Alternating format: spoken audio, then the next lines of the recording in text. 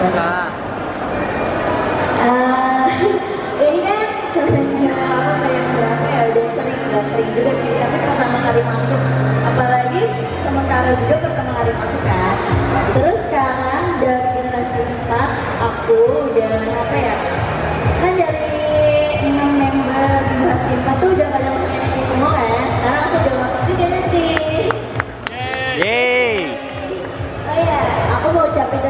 juga buat yang udah voting aku tujuh ribu itu walaupun kelihatannya dikit dibanding yang lain, tapi kalau dijumlahin kayaknya bisa beli rumah kali ya. Habis itu kalau misalnya aku masuk sekarang ini, kan aku lagi banyak ditubir ya, dan itu joget-joget yang lain, tapi walaupun kayak gitu, aku bisa buktiin kalau misalnya aku dikuat dari mereka. Terima kasih.